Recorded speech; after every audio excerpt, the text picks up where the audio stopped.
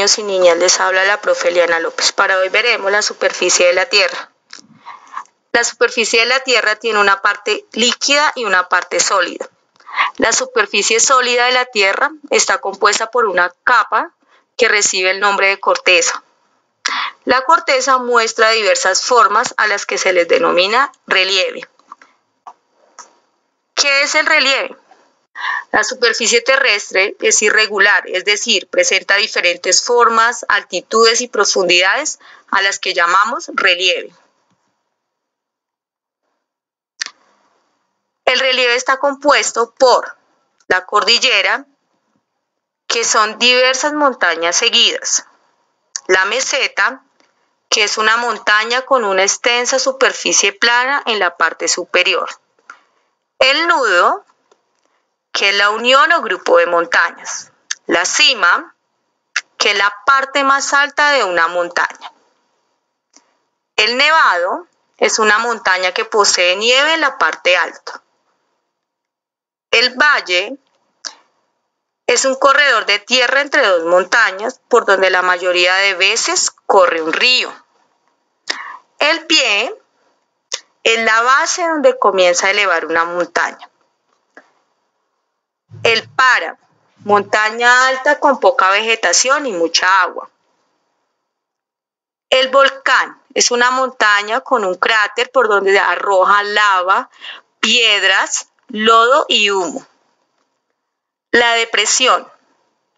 Superficie hundida a una altura inferior a la del nivel del mar. La llanura es una superficie plana y muy extensa. A continuación, abordaremos el relieve de Colombia. En Colombia es posible encontrar todas las formas de relieve. En el territorio colombiano se distinguen cuatro conjuntos principales. El sistema montañoso andino, los valles interandinos, el relieve montañoso y periférico y las llanuras.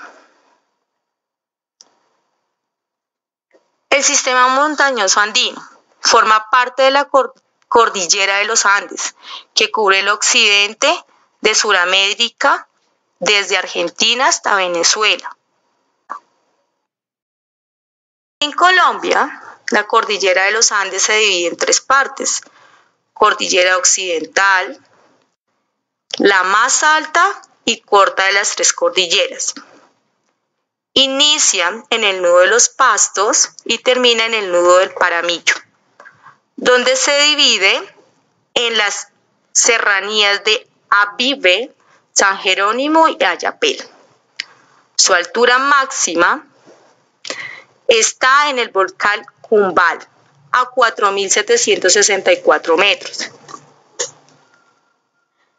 La cordillera central la más alta de las cordilleras colombianas. Se caracteriza por su intensa actividad volcánica.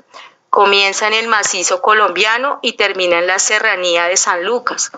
Su máxima altitud es el Nevado del Huila a 5.750 metros.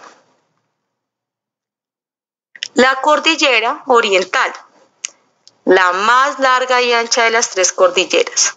Nace en el macizo colombiano y termina en las serranías de Motilones y del Perijá en Colombia y la cordillera de Mérida en Venezuela. Su parte más ancha es el antiplano cundiboyacense y su máxima altitud está en la Sierra Nevada del Cocuy a 5.380 metros. Ahora abordaremos los valles interandinos. Son valles que se encuentran en medio de las formaciones, por su longitud y extensión, posee una importancia económica, puesto que se encuentran sectores como la pesca, el transporte, las comunicaciones y la agricultura. Se destaca en el valle del río Cauca, que separa las cordilleras occidental y central, y el valle del río Magdalena, que corre en medio de las cordilleras central y oriental. El relieve montañoso periférico, conformado por sistemas independientes entre sí y que no pertenecen al sistema montañoso andino. Se incluyen en este grupo los siguientes. Las serranías del Baudó y del Darién, cubierta por las selvas del Chocó con altitud inferior a los 1900 metros. La Sierra Nevada de Santa Marta, el sistema montañoso costero más alto del mundo y donde se encuentran las mayores cumbres del país, los picos Colón y Bolívar, a 5.775 metros. La serranía de Macuirá, en la península de La Guajira, con una altitud menor a 900 metros. La serranía de la Macarena, con altitudes inferiores a los 2.000 metros, caracterizada por una gran variedad de flora y fauna. Es un punto intermedio entre los Andes y la llanura del Orinoco y la selva amazónica.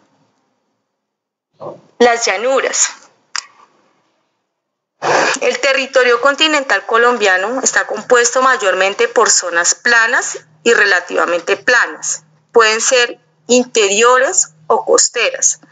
Las llanuras interiores son la Orinoquía o los llanos orientales. Se encuentran al oriente del país, al norte del río Guaviare y se extienden hasta el territorio venezolano.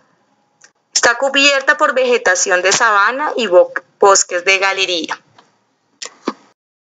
Amazonía se encuentran al sur del río Guaviare.